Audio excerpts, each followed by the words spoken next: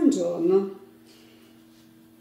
Questa settimana eh, diamo i risultati del concorso per il romanzo romantico contemporaneo.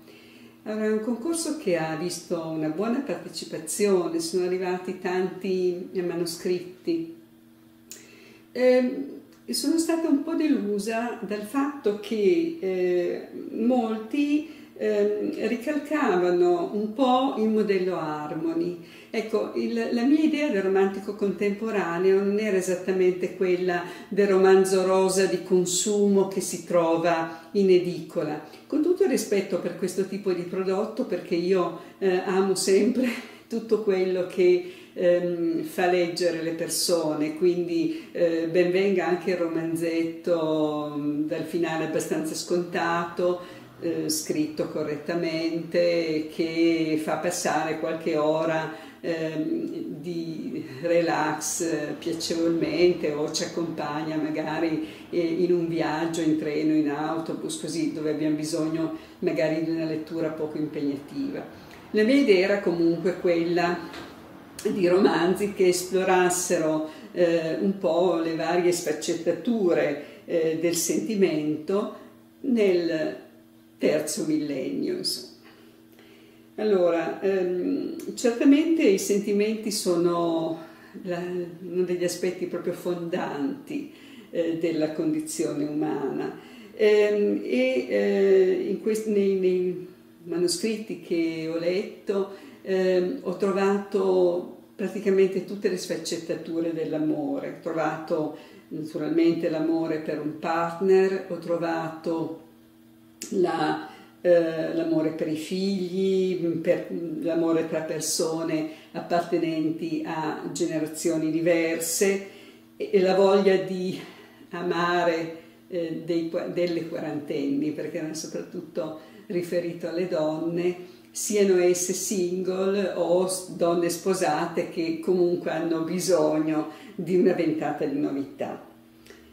Ci sono anche varie tematiche che eh, ricorrono eh, nei romanzi che abbiamo letto, quali sono per esempio anche eh, cose non sempre piacevoli come la malattia oppure la lontananza.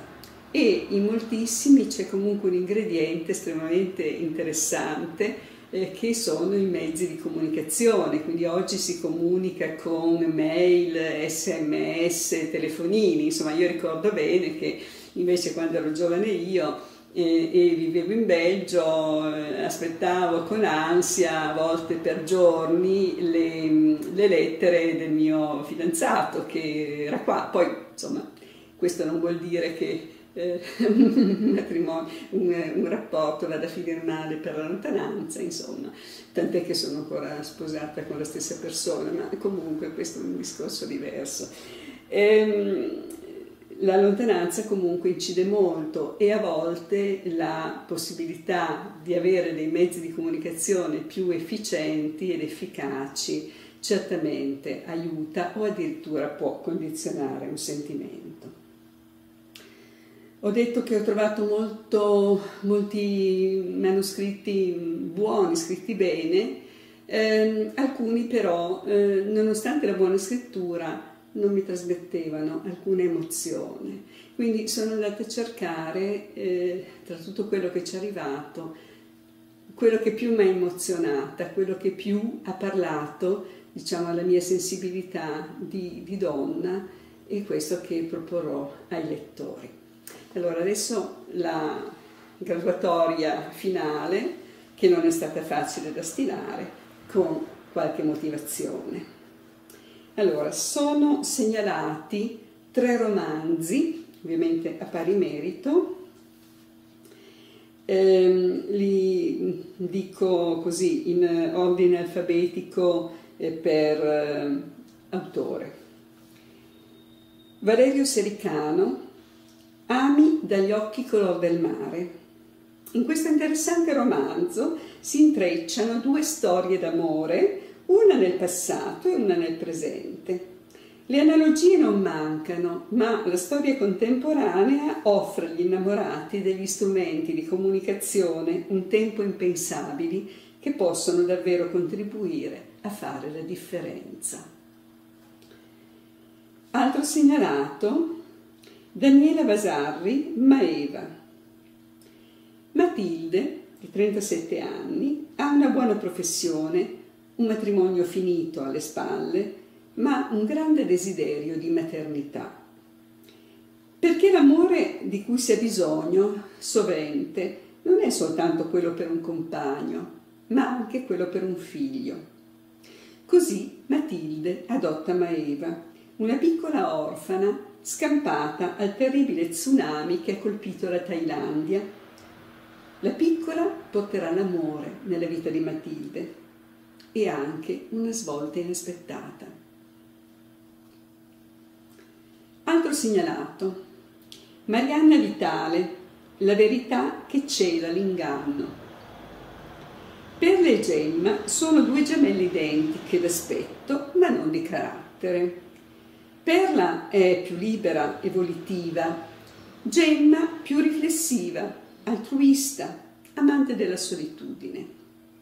Così non sa rifiutarsi di fronte alla richiesta di Perla di prendere il suo posto, riuscendo a ingannare tutti o quasi. Romanzo piacevole, lettura molto scorrevole. E adesso veniamo alle classificazioni. Si classifica al terzo posto il romanzo Fuori tempo di Maria dell'Anno. Tina Rossetti, 25enne commessa in una libreria ma anche dottoranda in legge, si innamora del professor McAllister, un americano che è ospite dell'Università di Torino per una serie di seminari. Nonostante le differenze d'età, circa 30 anni, tra i due nasce un amore. Romanzo ben scritto, che esplora il tema dell'innamoramento e dell'amore tra persone appartenenti a generazioni diverse, ma al tempo stesso del rapporto tra destino e volontarietà nelle scelte. La conclusione, solo apparentemente scontata, è in grado di sorprendere e coinvolgere il lettore. Secondo classificato, Claudio M. Il sogno della farfalla. Sardegna, fine settembre.